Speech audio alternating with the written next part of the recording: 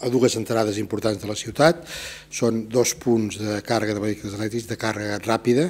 Podran, a cada punt s'hi podran posar dos cotxes en el mateix, mateix moment. Per tant, en el mateix moment es podrien carregar fins a quatre cotxes amb, amb, amb energia elèctrica, eh, per bateria.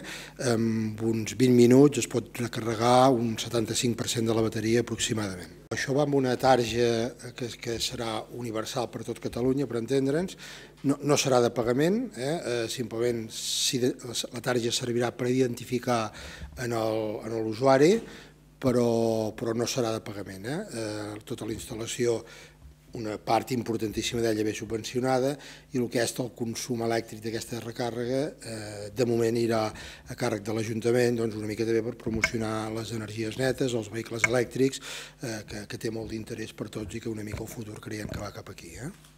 Quants n'hi han? No, en aquest moment n'hi ha molt pocs aquí a la ciutat. Eh?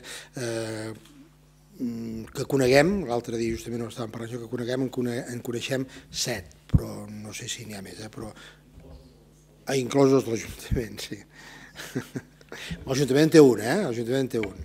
Bueno, un serà el Parc de Malatosquer, eh? el Malatosquer allà a la zona esportiva, els jocs infantils d'allà a Malatosquer, en l'aparcament aquell que hi ha del, del, de l'àrea del Becrec, i l'altre serà el carrer Zamenhof, a la, a, relativament a la vora de la benzinera d'allà, de la, de, de l'àrea de la Rodona. Eh?